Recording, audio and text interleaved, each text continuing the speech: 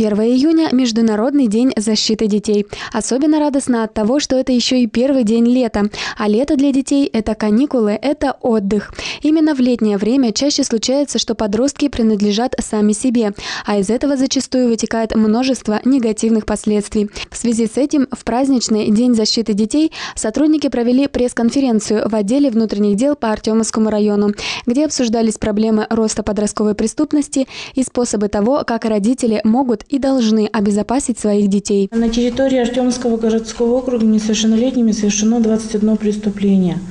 Э, По сравнению с предыдущим годом это рост составил 110%.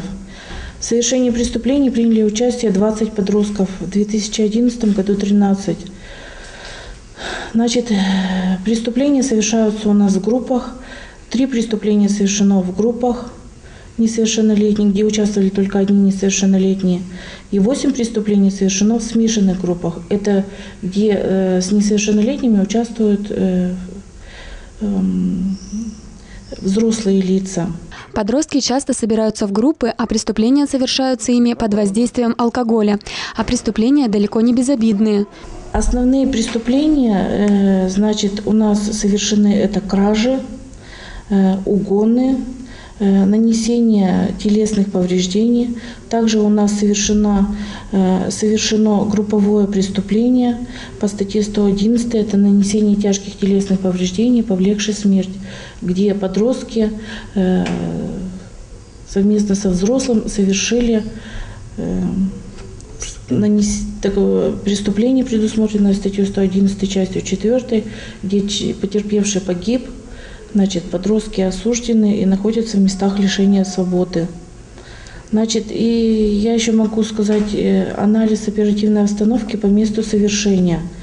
Значит, э, два преступления у нас совершены в селе Покровском, пять преступлений в районе станции, восемь преступлений в районе э, города, одно преступление в Лебедкино, два преступления в поселке Буланаш и два преступления совершены в районе Лесной. Значит, со всеми подростками, состоящими на учете, у нас проводится профилактическая работа.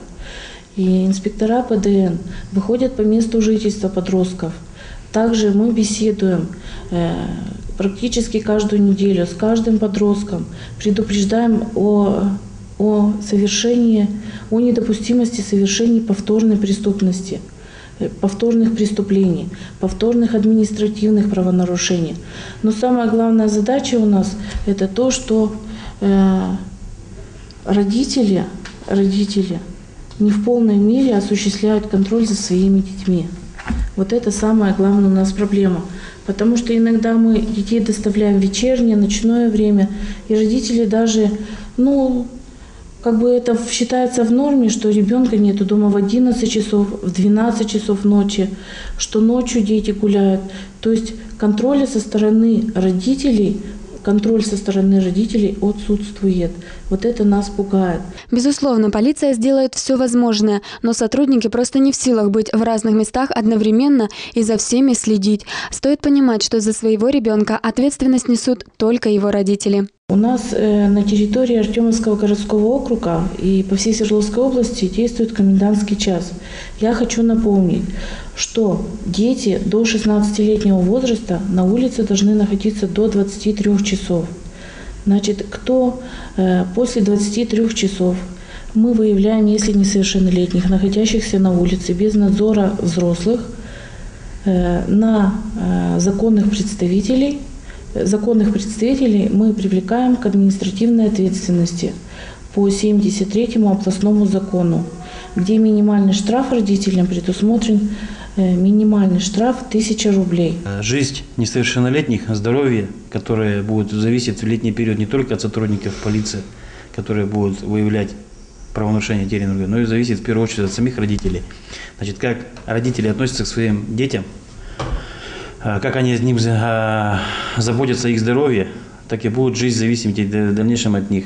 То есть будет совершено в отношении несовершеннолетнего какого-то либо преступления, либо правонарушения, или оно не будет. То есть чем больше родители заботятся о состоянии своих детей, тем оно лучше.